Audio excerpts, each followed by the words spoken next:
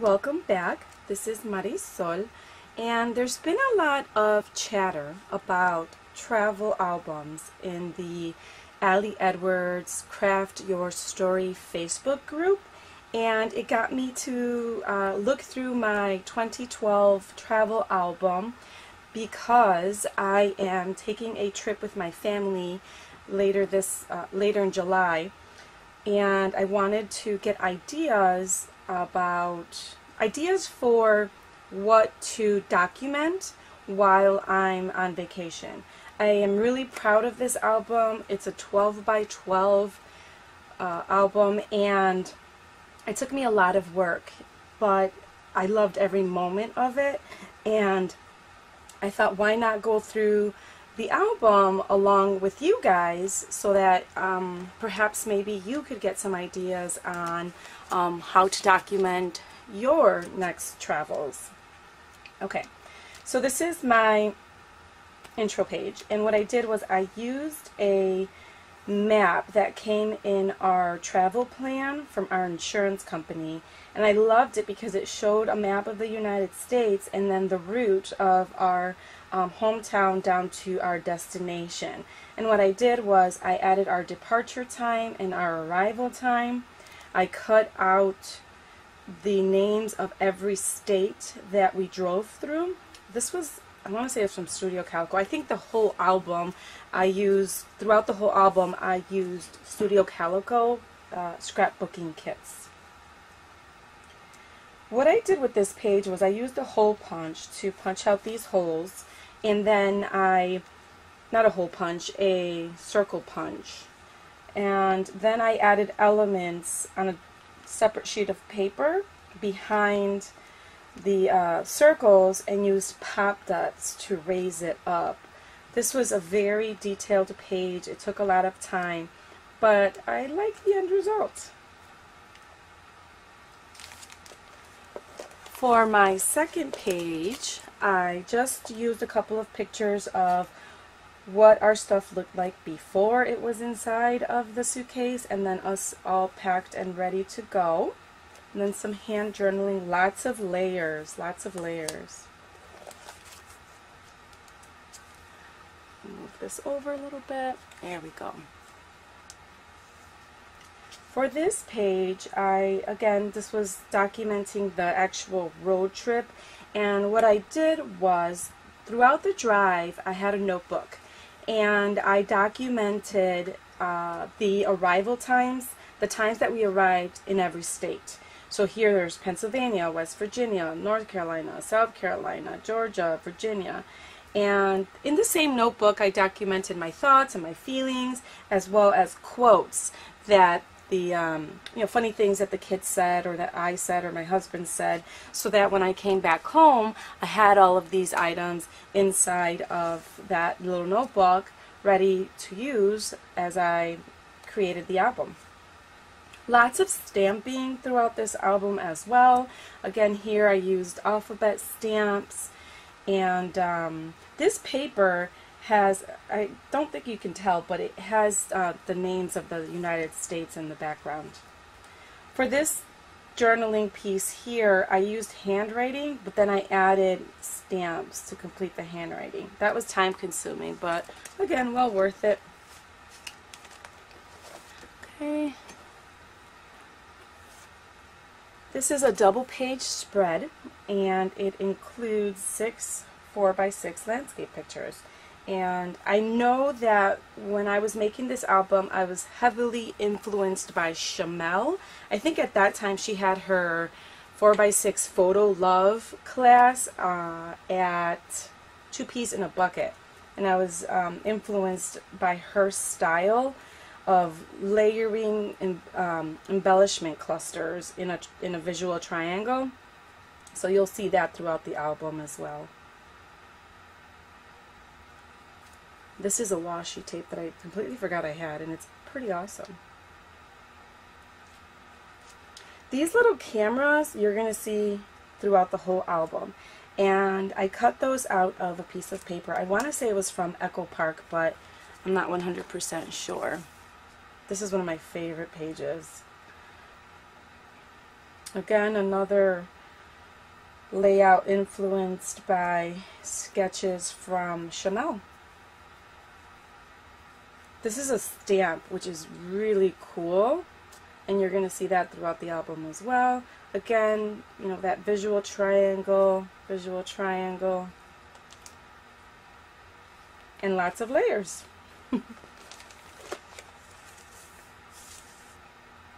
I'm trying to remember if I saw Shimelle's class before I went on my trip because I'm looking and I'm seeing that all of these pictures are portrait 4x6 and I'm wondering if I did that purposely, you know, if I took those pictures intentionally thinking about, okay, this is probably something that I'd want to make into a 2 by into a two page layout but I'm not 100% sure.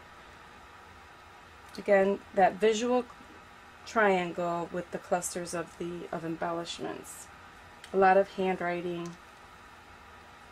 Again, oh look at these. These were um, thickers and I bought a bunch of them when I made this album because I was so afraid of running out and I believe that I do have leftovers that I'll use for this year's vacation. Lots of map papers. This is a stamp that I have and I cut it out and then added some journaling. Oh my gosh. when I said I spent a lot of time this album, I really spent a lot of time this album. Here, these are letter stickers. Not letter stickers, alphabet stamps and they're super tiny but I took the time to spell things out with it.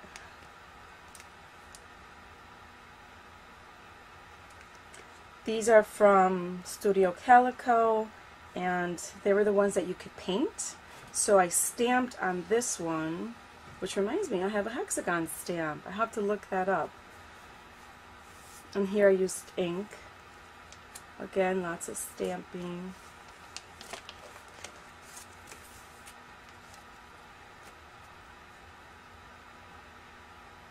This was his, the historic district in um, on Jekyll Island, I think we were at.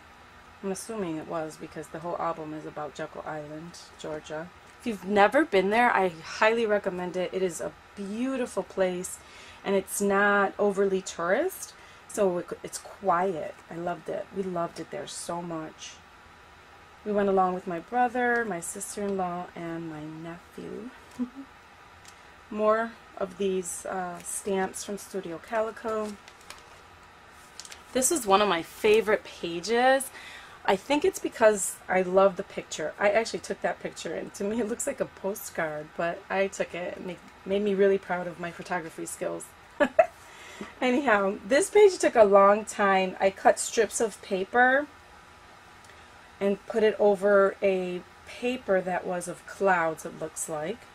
And used punches for these clouds here. And um, those stickers again. And just a little snippet of the story of me climbing that lighthouse, which was very scary for me. I'm, I'm afraid of heights. Okay, now here again, this is where we were. We were at. Let's see. We were at St. Simon Island, and what I did here was I cut a page protector in half. This was a page protector that had 12 pockets, and I cut it in half to add in these extra pictures.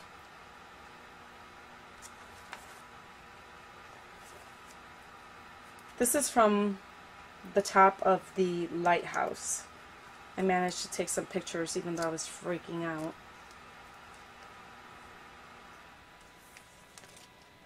This is a We Are Memory Keepers page protectors. That's why you see it has that big pocket there. Becky Higgins, I don't think has a lot of these um, page protectors that have these bigger pockets or different configurations. I think they do exist in the app though. Okay. So this is just the back side of that page protector. I think by this time I was starting to get tired and I kept the page a little bit more simple. This is one of my favorite pages as well. Again, here's that cluster. Let me see if I can get both pages in the frame. There we go.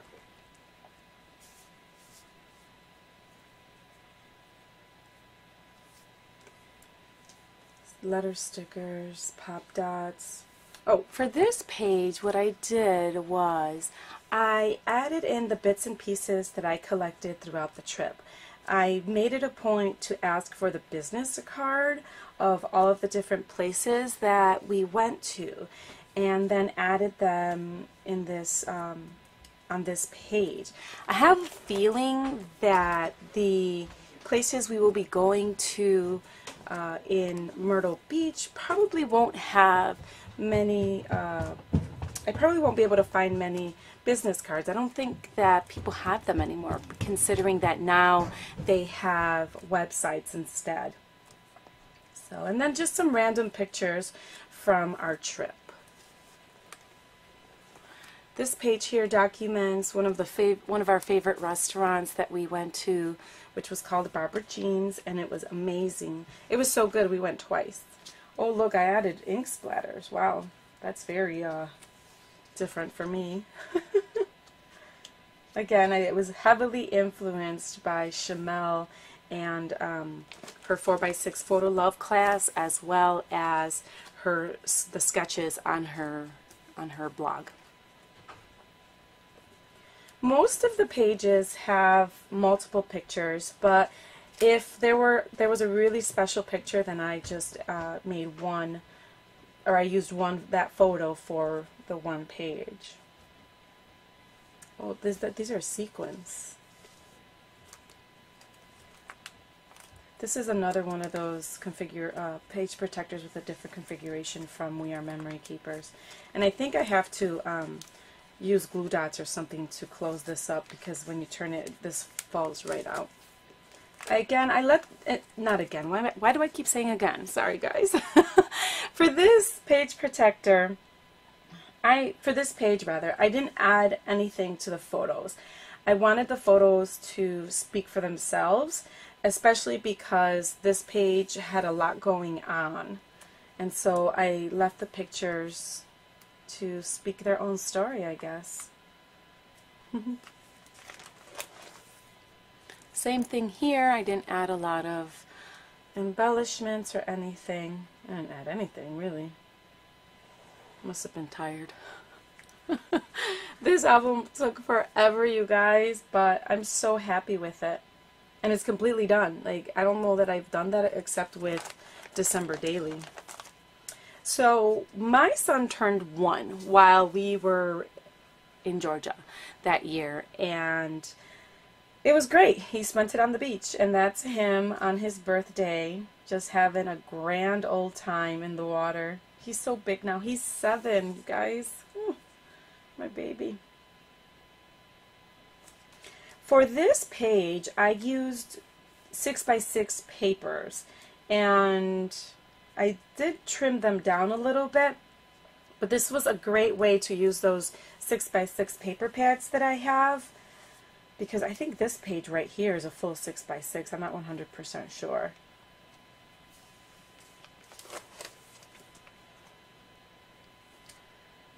Yeah, and so what I did was a lot of the same papers that I used on this page, I used on this page. Again, a lot of stamping in there. Now, see, I must have taken, watched her class because I don't know that I would have thought of this on my own, that for the same series of pictures, I took a portrait, landscape, portrait, landscape to create this layout. I have to remember that. Although I'm not sure, to be honest, if I'm going to create a 12 by 12 album for our trip in July. I this is a big a big project and I'm not sure. And the only reason why I'm questioning it is because I started making 12 by 12 layouts again because I'm taking the Studio Calico Summer of Sketches class and I made a few 12 by 12 pages and I'm loving it. so I'm kind of in the 12 by 12 mood, but I'm not sure. We'll see. because I'm also in the Traveler's Notebook kind of mood. For this here, what I did was I have these plastic letters, and I have tons of them, and I use staples, right, to adhere them onto that card. And I don't use my stapler very much anymore, my tiny attacher, because I feel like it messes up the uh, picture that is behind but I don't see any damage here. But I do keep this album upright all the time, so that might make a difference. But anyway, what I did, and I really like, and I think I'm going to do again, is that I trimmed patterned paper out. I traced the letter and then trimmed it out of patterned paper, and then either replaced the entire letter or backed up the letter with patterned paper. And I really like the way that looks. And I, I'm something to note because I think I want to do that again. Oh, and this is another example of something that I did. I uh, wrote down the item, the food. I wrote down the food that we ordered from that restaurant on that day. This is the name of the restaurant, and then here I have all of the different um, menu items that we ordered. So I probably want to do that next time too. These are Instax pictures, Polaroid pictures. I have a little Polaroid camera that runs on battery and I haven't used it much only because I'm having trouble finding the the film and it's kind of expensive. I think it's a dollar per picture. So, very expensive. This was uh, did I trim this down? I don't know. I don't know if I trimmed this down or if it came like it, like this. I think it came like that. Very bulky uh, album. I This is a button layered with a brad. Very, very bulky. Lately, for the past few years, I've been keeping things pretty flat because the albums just, I don't know, they just get so bulky. So this here I want to show you is a two is a two-page layout but I have an insert in the middle. And what I did for this insert is I trimmed down a 12 by 12 page protector. And let's see, what does this measure? It measures eight and a half, it looks like. Yeah, eight and a half by 12. And that way I was able to add in more pictures of this little day trip that we took to Driftwood Beach. So that's another way to get more pictures in a two by two or in a two page layout. This map right here, can you guys see that? This is a stamp from Studio Calico that I still have. And um, I just hide, colored in the, um, the state, Georgia's state there. This is a Hero Arts stamp that I absolutely love. What I plan on doing before I leave to my trip is I plan on creating a traveler's kit of all different papers and stamps, embellishments, letter stickers, things that I think I might want to use during, or things that I want to use to document the trip. So I'll be doing that. I might, I don't know if I have the time or not to do a video. This was one of my favorite cards from Studio Calico's Documenter kit. Back then it was called the Project Life kit.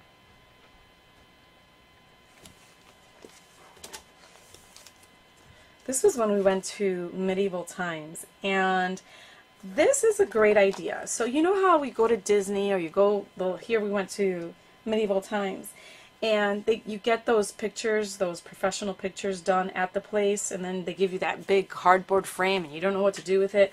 Well, I tossed the, the frame because, quite honestly, I'm not going to put that anywhere in my house. But I kept the picture, and I trimmed down a uh, 12 by 12 page protector, used my fuse tool to seal it, and there you go. And then what I did on this page, which I thought was pretty cool, um, is that I used, I don't know if this is a die or if I did this with the Cricut, I do not remember. But anyhow, I went ahead and I added quotes that the kids said, things that the kids said about medieval times. And my one son said it was like Skyrim, but in real life. My nephew said it was epic. Ricardo said, I enjoyed it so much, I can't even explain. My daughter says, that is a cool castle. And so what I did was I used letter stickers and stamps to highlight some of the words in the quotes. And this right here is from those crowns. You see how everyone's wearing one of those paper crowns? I saved them and I used it as a border on this page and then part of the crown, that label is here as well. These little cameras are from Studio Calico and they were white and I was able to just color them in. These are really dark pictures because they were indoors. This is the ticket.